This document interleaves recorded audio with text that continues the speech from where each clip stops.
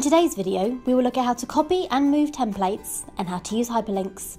Being able to move a page from one tab to another is very useful if you decide the content is better suited elsewhere.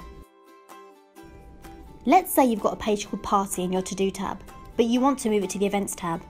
Use your mouse to right click the page Party on the right hand side of the screen. In the drop down menu, select Move or Copy. From here, you can choose which tab you want to move the page to. In this case, we'll choose Events and then click Move.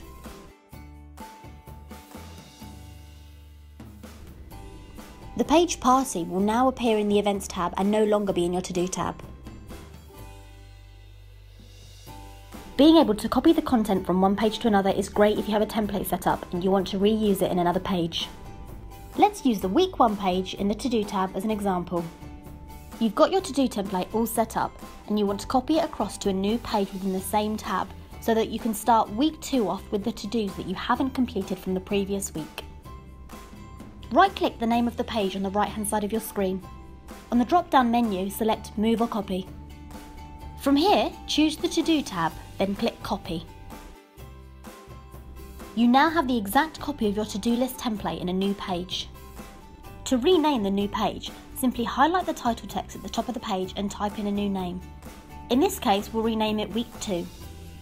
Now remove the task that you completed in the previous week by highlighting each line and pressing backspace. To add extra columns to your template, click on the last box and press Tab. To add a tick box, press Ctrl 1.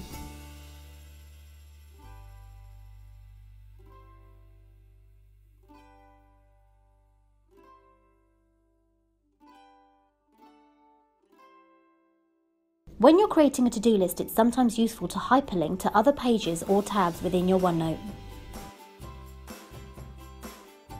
Highlight the section of text that you want to turn into a hyperlink.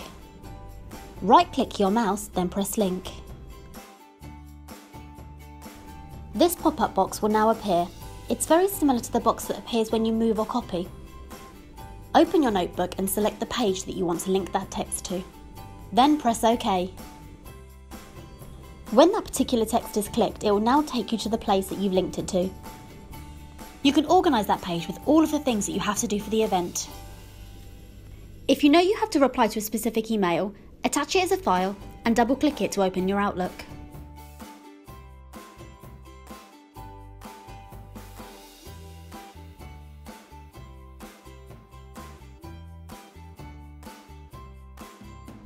When you reply to that email, the response will go into your sent items.